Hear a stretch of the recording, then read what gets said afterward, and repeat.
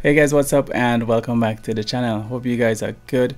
Now in my last video release which was the behind the scenes for the energy drink there were a lot of requests for an editing breakdown. Um, now whilst that's gonna take some time to come to do a full editing breakdown for the, for the full video there was one shot in particular that stood out and a couple of people had asked how that was done. And that was the shot where the two cans were spinning on the screen. So I'm just going to break that one down for you um, show you how that was done. Okay then, so we are in Premiere Pro and we have our shot on the screen. So this is a shot of the can spinning. So if we have a look at this, that is essentially our shot uh, at a constant rotation at that speed in real time bring it back to the start so the first thing that we're going to do is to mask this can out we want to separate the can from this background and what we're going to do is select our mask tool or pen tool and we're going to draw around the can. So once we have carefully drawn our mask or path around this can then we would end up with it isolated like this. So if I was to play this through again you'd see that it's spinning without the background. Okay so here's one thing to bear in mind. If I just show you this up close let's zoom this in a bit so let me scrub through this and I can show you. So now you might have to put some keyframes to adjust your mask to capture as we can see here this wasn't a clean shot where the can was spinning vertical like absolutely vertical. So you might have to tweak this mask left or right if your can goes out. So after a bit of tweaking using keyframes we were able to get uh, a good result from this.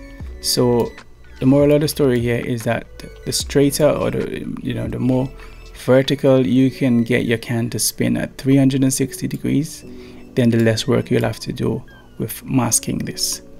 Okay the next step for me at this point I wanted to add some speed ramps. So if you look at this clip right here you can see I've added some speed ramps in here. And if you don't know what speed ramps are then there are quite a few tutorials out there about how to do speed ramps. So just have a look. It's slow here and it speeds up slow speeds up as you can see with the uh, speed settings on this particular clip. And this was simply to give the effect of the can speeding up and slowing down at intervals on its own. So moving on what I'm going to do is nest this clip and I'll explain why I'm going to nest it. So I'm going to nest this clip and we have the nested clip right here on the timeline. This is the first part of it. So if we just scroll through this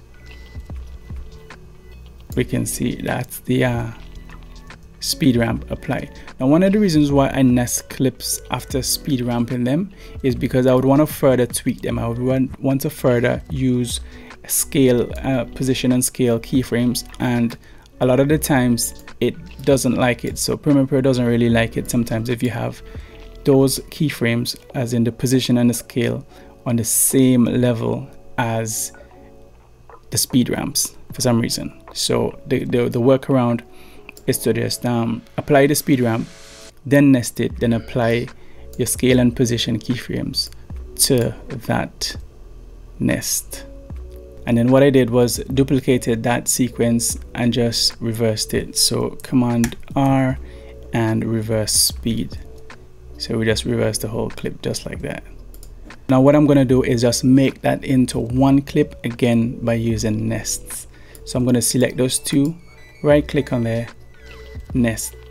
So now we've got a nested clip as such. So it's, it's a singular clip if you look at it in this way but we can always go back in or go back down a few levels and make some tweaks if necessary. So here we have that whole thing and we're spinning left and we're spinning right in one clip. So what we're going to do now is just add the reflection to the bottom of the can on this. So we're just going to duplicate this clip. So easy way to do that is to hold on the option button on the mac click on the clip and drag it to wherever you want to make that duplicate. Now on this duplicated clip, what you would want to do is add an effect called vertical flip. And this is going to create your reflection. So we've added a vertical flip from the effects. So you go into your effects, search vertical, should come up here as a vertical flip under the transform. It's now essentially turn this upside down and then you can just move it into position. And then now if we play that, we can see we have the reflection moving in tandem with the clip above. So now what you'd want to do is make the reflection a little bit more believable because you would want to add a nice little gradient here so the opacity of this reflection fades as it gets further away from the can.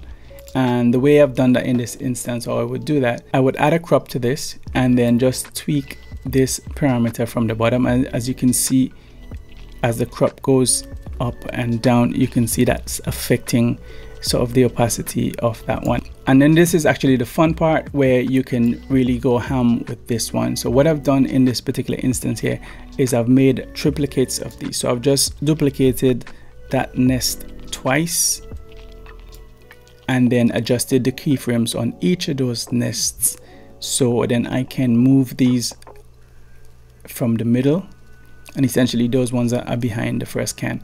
And just move them from the middle out to the right. And remember these are on a transparent background so you can have so much fun with this. For example it's on this I mean you, you can change the background to whatever color you really want you know um, and it's going to make it a lot more interesting.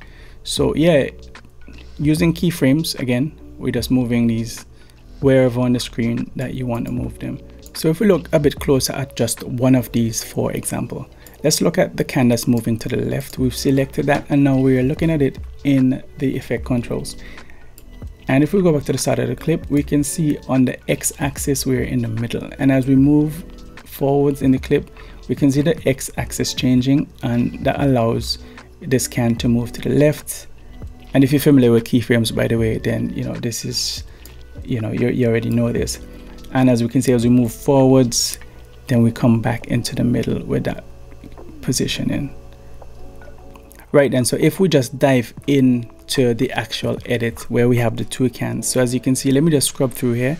That is the principle. The principle does not change about what I just showed you. So I've added a background. Like I say I can change the background. Let me just remove this. That's the that's what it would be.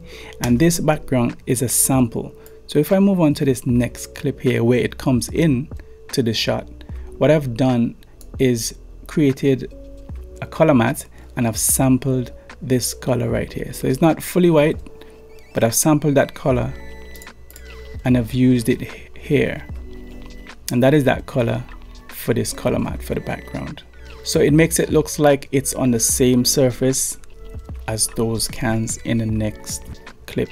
And again, keyframes were used to just change the positioning and the scale to move these off the screen. And we transition into that next shot. Okay, and that is essentially it guys. That was the breakdown of how I created that shot. Uh, hope you found it useful. I hope it made sense in this explanation. I did try to explain it a bit in, in the comments uh, on the last video, but I hope this cemented that and um, you guys have a better understanding about how I did it. And that is it for today guys. So if you enjoyed this, do smash that like button. Remember to subscribe if you haven't done so and I'll see you guys on the next video. Peace.